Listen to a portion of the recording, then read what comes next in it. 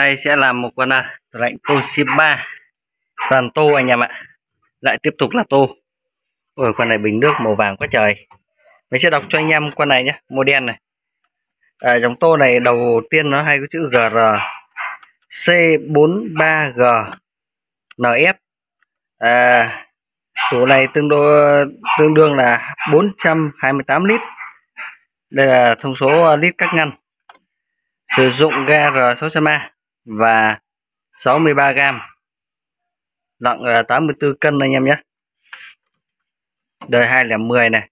Đấy đây là thông số kỹ thuật của một con uh, tủ lạnh uh, model là GR C43G NF con này uh, là con 5 cánh anh em ạ. 5 cánh và con này vẫn như một lần thôi đã tiến hành uh, tập ga.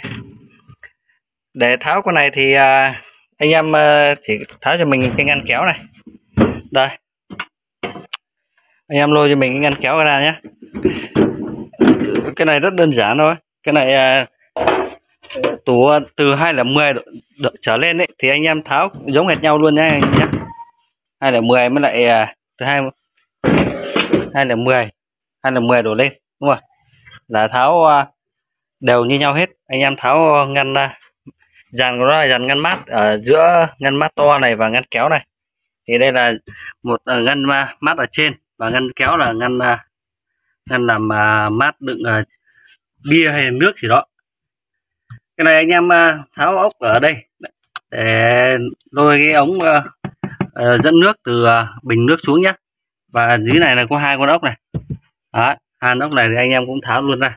Con tủ này tương đối là sạch sẽ anh em ạ trong là ngăn trên này thì anh em tiến hành à, tháo ờ, tháo hết khay ra cho mình. Con này à, mình mới lên video à, cái con à, đời 2012 đời 2012 cũng tháo như vậy anh em ạ. Đó. con này nó có thiết kế cả dàn khay để gập vào nhé. Hôm nay sẽ tháo con này ra. Hiện là tại là mình lên video con thủ tô.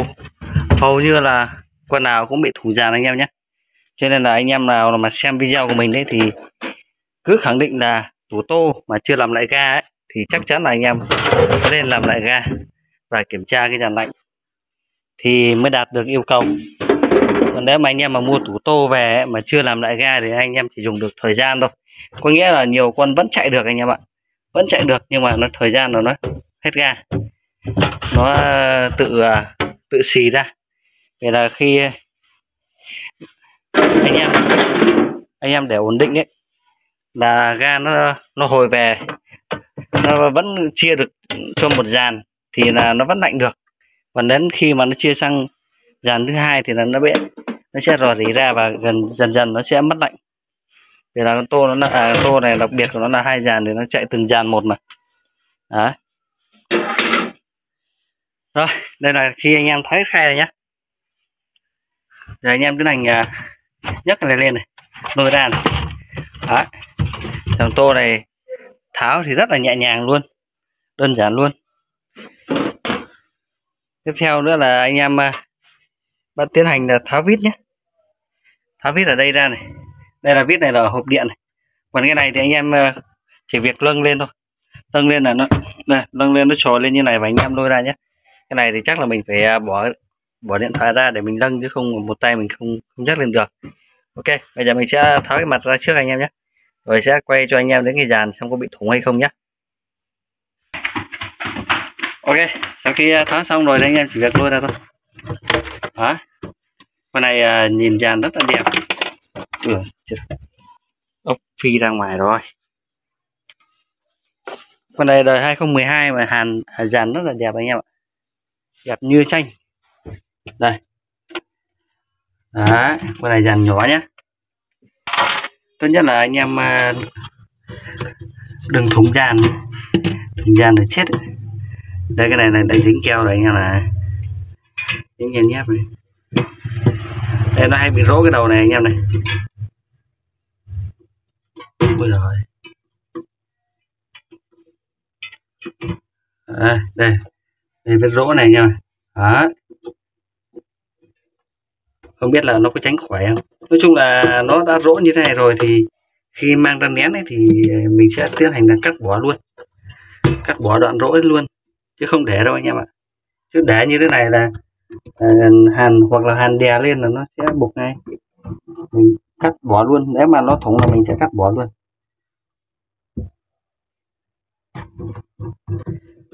Hai con ở tràn này là 8k anh em nhé đấy, video nào mình cũng nhắc đến là con ở dàn là 8k cho nên là anh em cứ ở 8k anh em thì phải tội sai đâu mình chịu đấy nhá, để mình nghe điện thoại thôi.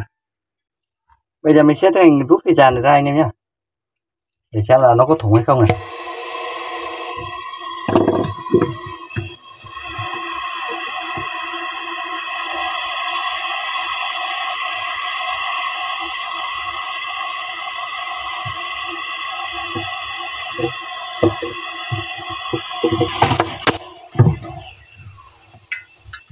Ok. Như vậy là đã rút rồi. Đã tháo được dàn đây anh em này đây. Dàn này anh em nhìn là nó rỗ ngay đây này. Đấy. Các bạn là camera đang chưa phát hiện được cái chỗ rỗ anh em ạ. Bây giờ mình lại tiến hành à, hàn đầu ti vào đây thôi. Hàn đầu ti vào đây và tiến hành à, đi nén thôi rất là quy trình luôn anh em nhé. Cứ theo ba mà dập thôi. Bây giờ mình sẽ tiến hành hàn đầu ti vào đây. Ok anh em này đã hàn xong đầu ti rồi. Bây giờ sẽ đi nén này. Đây, anh em để ý xem chỗ này nó có thủng nhé đấy rất rỗ này. Rỗ là rỗ luôn. Rỗ ngay đầu góc này. Bây giờ mình sẽ nén xem là nó thủng ở chỗ những chỗ nào anh em nhé hay là không thủng nhá như vậy là con này không bị thủng luôn anh em ơi. Không phát hiện ra một vết uh, xì nhỏ nào. Đặt đi đặt lại rất nhiều lần rồi mà không thấy phát hiện một uh, bong bóng của cái dàn này lên anh em ạ. Đây chứng tỏ cái dàn này là, là, là rất là ok. Trong uh, khoảng tầm uh, 6 con tủ gần đây mình like là hầu như con nào tủ tô đều thủng và thủng rất to. Nhiều quan là à, đã nghĩa là không thủng nhưng mà lại phải thay dàn. Và quan này đời này đã nghĩa là phải à, thủng dàn thì lại à, không có một vết nào luôn. Đó. thì à, như này mình sẽ chỉ cắt cái đoạn han này đi thôi. Đoạn han à, đang ngay đầu rồi thôi. Mình sẽ cắt đi mình thay cái đoạn này thôi vì là đoạn này nó cũng có vết rỗ rồi. Thì à, mình sẽ thay luôn cái đoạn này thôi còn trong thân này rất ok thì mình sẽ không phải à, kiểm tra nữa. Áp ga mình nén cũng tương đối là cao. Áp uh, nén hơn 400 luôn anh em này. Đấy. vậy mà vẫn uh, không phát hiện rò rỉ ra thì cái dàn này tương, tương đối là đạt bây giờ mình sẽ tiến hành uh, xả đi thôi. Xả đi và hàn vào thôi. Ok anh em nhé như vậy là mình đã hàn xong rồi. Và thay một đoạn ống ờ, này thôi. Và cái đoạn đầu kia nó hỏng thì mình phát đi nhé. Bây giờ mình sẽ tiến hành à, à, đo cảm biến và lắp vào thôi. Bây giờ mình sẽ ấy vào đã. Sẽ hút chân không đã. Đây anh em này. Cái đoạn ống ngắn này, này. Nó rỗ như này này. Thì anh em à, cắt hẳn nó đi cũng được. Để tránh dùng một thời gian rồi nó lại thủng ở cái chỗ này nhé đây toàn thấy đầu phin vắt vào đây ối giờ mình sẽ tiến hành à, hút chân không thôi. Đây, cái này à, mình đã ấy rồi đã tiến hành à, thay phin rồi. Cái này nó không bị thủng thì là sẽ bị thui ga anh em nhé. Thì con này là bị hiện tượng thui ga thôi. Uh, mình sẽ cắm hút chân không là được. Oh, ok giờ là mình chỉ việc à, kiểm tra cảm biến và mình lắp vào thôi. Là xong. Xong cái quá trình này. Quá trình lắp này thì à, mình sẽ không uh, à, quay video nữa. Vì là cái này mình cũng làm à, rất nhiều rồi. Cho nên là mình sẽ à, tiến hành à, lắp vào và chờ kết quả ngày mai nhé. Đây con tủ sáng nay làm đây anh em này. Nhiệt độ đã xuống âm 12 rồi đây. Đó đã nước đổ ở đây đã đóng váng rồi. Đó, đã có ván đá ở đây rồi. Ok. Như vậy là con này cũng đã đạt rồi nhé cái con à, sáng này đây. Đời 204 nha anh em nhé bây giờ bắt đầu đến à, con 210 này nữa là ok. Mai rơi đá em sẽ quay kết quả cho anh em nhé ok anh em này. Sau khi à, làm xong này, đá đã rời ok luôn. Đó cứ để qua đêm là rơi, mà không bao lỗi gì như này là ok này anh em này đó. con này là đời 210 đây anh em nhé. Đời 210 này. GRC43G NS anh em nhé. Ga là rồi Sojama 63g à 84 cân khối lượng tủ anh em ạ. Rồi 428 lít đã hoàn thành. Rất là mát luôn anh em nhé. Đây. Qua qua một đêm hút nửa bình nước anh em ạ.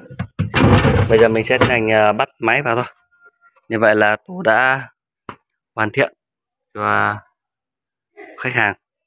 Thì mình xin dừng video ở đây nhé. Cảm ơn anh em đã quan tâm và ủng hộ kênh. Xin à, tạm biệt anh em.